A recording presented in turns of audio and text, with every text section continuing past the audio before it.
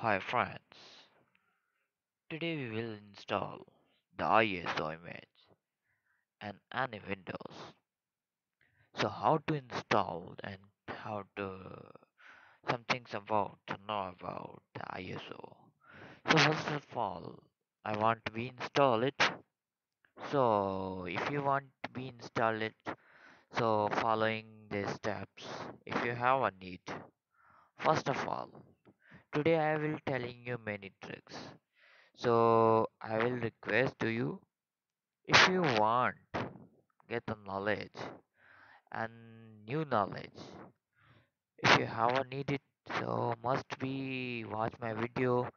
And last when you watch my video in the last must be give me a suggestion about my video. Because it's a not fake video it's a really amazing video. Today i will give you a new knowl- knowledge. And must be share it with your friends if you want it. And finally you must be subscribe it okay so now i may start how to install. First of all you open the iso from the google and download it and after then when you it's installed then i will telling you about. It's in my windows. I will be installed it. This is the setup of the ISO you can be watch there. Ultra ISO setups. Ultra ISO setups in front of you. You can be read the description of the outside okay? Now I'm a click it and for the open it.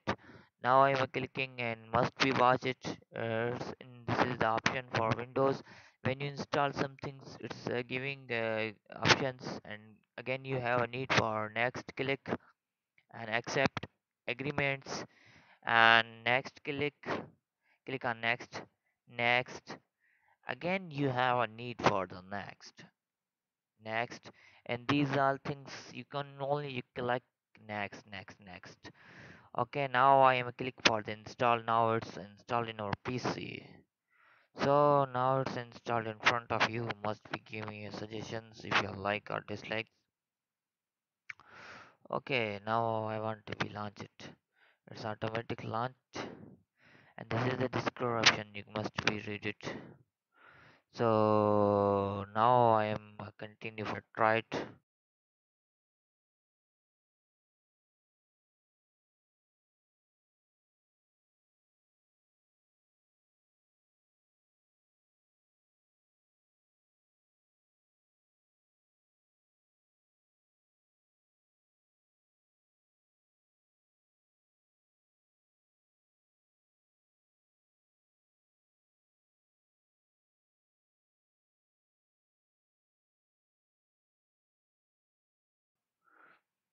when you install it uh, get a trial base.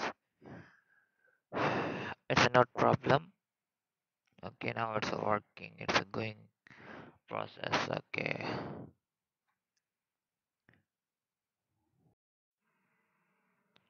Friends it's in front of you ISO image you can be watch it it's working really working yes. And in front of you and it's really work can be watch it? If you want to be burned you can be easily